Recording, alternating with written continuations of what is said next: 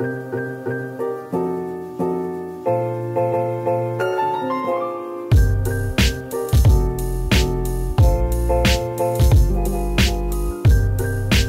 さんこんにちはりんこです。今日は、えーと、日本語能力試験の話をしたいと思います。今年の12月2日に、えーと、初めてあその能力試験を受けると思います。レジストレーションもできたんです。イエーイじゃあ初めての試験なのですごい緊張します。今日はうんと私の私はどうやって勉強するのかちょっと話したいと思います。この本を使います。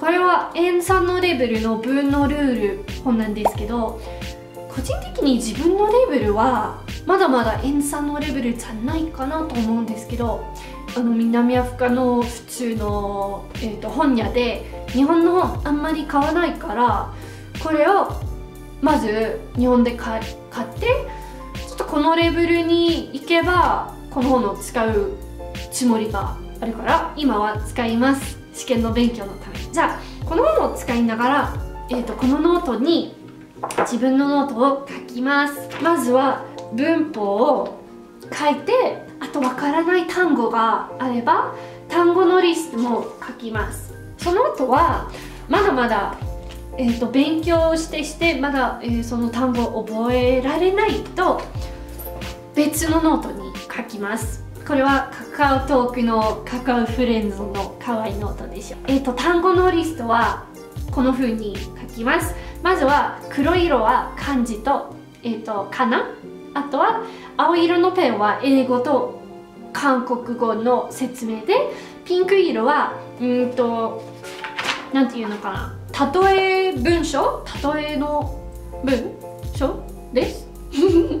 内緒内容は内緒内容はあんまりないけど、えっと、1週間前に勉強始めてばっかりなのでうんあんまりないけど、えー、進んでこの本を使いながらこの3つのノートに書きたいと思います。漢字の勉強はちょっと困りますね。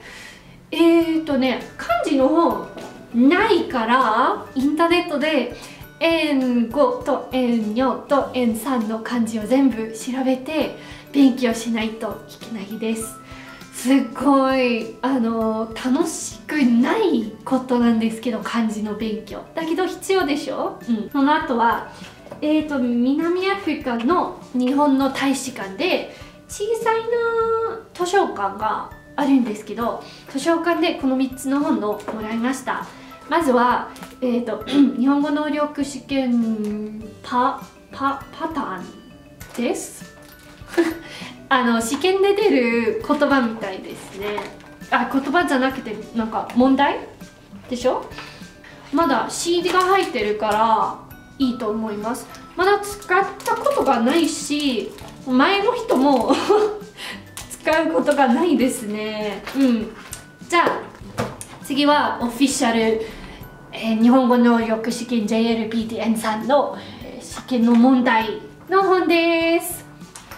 まだ使ったことがないえーと大使館でもらった本の以外に自分が持っているこの本も使うと思います。じゃあまずはスピードマスターです。皆さんもインスタグラムでみんなのなんか勉強ノートとか見るとこの本を持っている人がたくさんいると思います。じゃあ早く説明したいと思います。なんかテーマが入ってそのテーマについていろいろ単語もあるし、前の動画にこの本の話をしたからまあここまでです。えっ、ー、とすぐに使える日本語会話。超ミニフレーズ。これあの運転しながらこの CD を聞きます。そうすると後であの本を見ながら勉強する時間があるとあの車で聞いた、えーと、文章とかも覚えてから本で読むともっと勉強が安くなります。なんか久しぶりに日本語で話すとあんまり言葉が出てこないね。ごめんなさい。次はこの文法の実証です。あんまり、えーと、塩酸の試験のための勉強本じゃないけどこの、えー、文のルール本で文法の説明があるからわからないところがあると必ずこの実証で調べてみたいと思います。あほら忘れてしまいました。えっ、ー、と最最後の方はこの3つです。これと同じような本ですね。これは N4 と N5 でこれは N3 の練習新日本語も文字語彙文法でございます。この感じです。その後はこの本です。N3 のレベルですね。文章がいっぱいあるしその文法の説明は英語と中国語と韓国語で出ます。すごいインテンシブなレッスンが入っているから早くあの練習したい場合はこの本はもっといいと思います。それは時間がたくさんあると使わないと。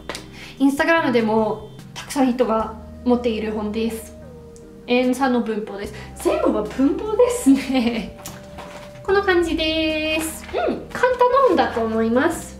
この本を全部使いながら勉強しないと。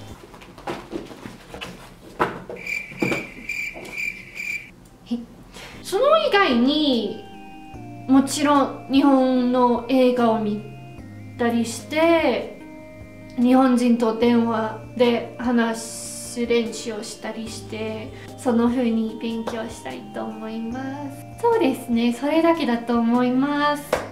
皆さんあのええー、と日本語能力試験を受ける人がいるとぜひコメントをしてください。うん私初めてなので緊張しますね。応援してください。じゃあみんな次の動画へ見ましょう。